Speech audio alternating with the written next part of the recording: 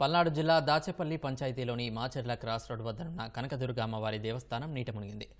ఆలయంలో ధూపదీప నైవేద్యాలు పెట్టేందుకు కూడా చోటు లేకుండా పోయిందని ఆలయ పూజారి భాస్కర్ శాస్త్రి ఆవేదన వ్యక్తం చేశారు.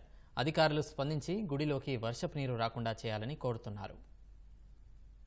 గత నాలుగు నెలల నుంచి కూడా ఈ రోడ్డు వాళ్ళు చెప్పినా కూడా వినకుండా ఈ రోడ్డు డైవర్షన్లో గుడి మొత్తం కొట్టేసి సైడ్ కాలువ తీస్తామని చెప్పి చెప్పుకుంటూ కూడా అలా చేయకుండా గుడి మొత్తం పాడు చేశారు. భక్తులు రావడానికి కూడా ఇబ్బంది అవుతుంది. శ్రావణ మాసం నాలుగు శుక్రవారాలు కూడా భక్తులు ఎవరు రాకుండా అయిపోయిందండి.